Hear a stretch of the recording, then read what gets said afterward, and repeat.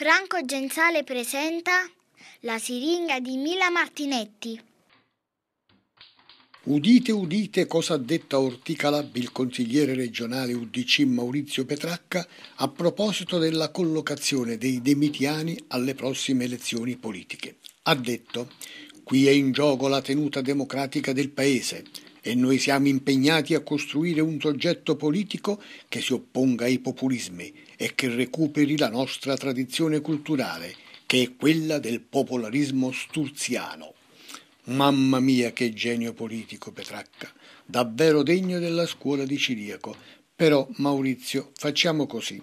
Giochiamo pure a fare gli statisti, tanto ci giocano anche De Mita Junior e, in par condicio, Valentina Paris.